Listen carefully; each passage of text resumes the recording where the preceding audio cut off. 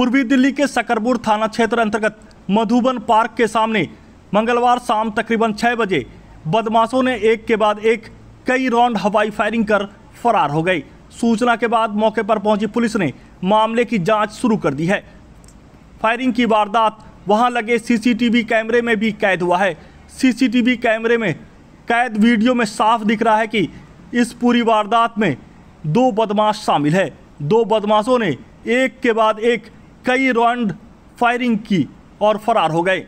बताया जा रहा है कि फायरिंग से पहले बदमाशों ने एक बिल्डिंग का दरवाज़ा भी खटखटाया था। उस बिल्डिंग में आरएसएस का स्थानीय कार्यालय भी है। फ़िलहाल पुलिस इस पूरे मामले की जाँच में जुटी है।